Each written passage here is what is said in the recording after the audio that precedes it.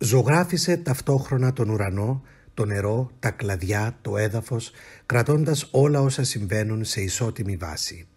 Μη φοβάσαι να βάλεις χρώμα, ζωγράφισε απλόχερα και χωρίς δισταγμό, γιατί είναι καλύτερο να μην χάσεις την πρώτη εντύπωση. Καμίλ Πισαρό Ο Καμίλ Πισαρό γεννήθηκε σαν σήμερα, 10 Ιουλίου 1830, στο νησί Σεν Τόμας στις Δανέζικες Δυτικές Ινδίες.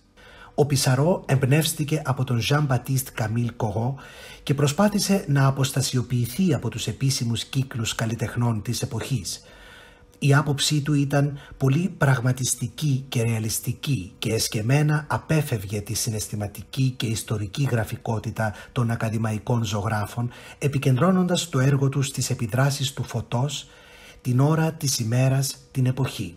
Τοπιογραφίες του και πίνακες με τον περιβάλλοντα χώρο της μικρής του πόλης Σαν Τομάς συμπεριλήφθηκαν στην πρώτη ιμπρεσιονιστική έκθεση το 1874, τα οποία και τον συνέδεσαν οριστικά με το κίνημα του ιμπρεσιονισμού. Ο Πισαρό ήταν ο μόνος καλλιτέχνης που έλαβε μέρος και στις εννέα εκθέσεις των Ιμπρεσιονιστών, καθώς και ο μοναδικός Ιμπρεσιονιστής που ασχολήθηκε με το μεταϊμπρεσιονιστικό κίνημα του πουαντιλισμού, όπου η επιρροή του φαίνεται στο έργο που φιλοξενεί η Λεβέντιος Πινακοθήκη «Περίπατος στον Οπορώνα».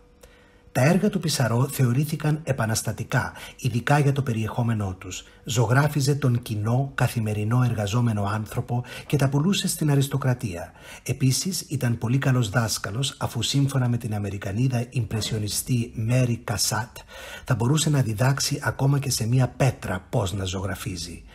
Ακόμη και ο αδερφός του, Βίνσεν Βανκό, ζήτησε από τον Πισαρό να φιλοξενήσει τον τότε άγνωστο Βανκό. Ο Πισαρό αναγνώρισε το ταλέντο του Βανκό και δίδαξε στον υποσχόμενο ζωγράφο πώς να χρησιμοποιεί το φως και τα χρώματα στους πίνακές του.